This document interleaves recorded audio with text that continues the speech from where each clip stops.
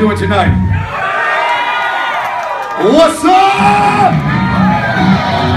So, uh, so listen, I would like, I would like to say, uh, that's very cool what George said uh, about us. Thank you, George. How much do we owe you for that shit? Uh, this place right here means so much to us. Uh, what's up? How you doing? Good to see you guys. Uh, so this is the third time around that we've been here. This is kind of like our home. This is uh, where Sevendust we kind of create our magic. You guys got to hear Kill the Flaw tonight. Is that okay? Was it alright?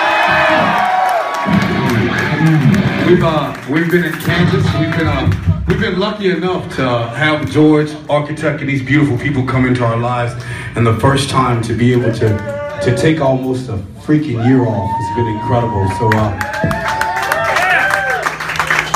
we said there's not going to be an acoustic guitar within a thousand miles of this van for about a year. Uh, with that being said, so we went home, we went to my house, we started rehearsing, and we thought about putting this set together, and we looked at all these old songs, and after you have 150 songs, it kind of gets hard. So uh, we hope you guys enjoy a few of these old songs that we put in the set. Y'all want to hear some songs tonight? We can't hear ya!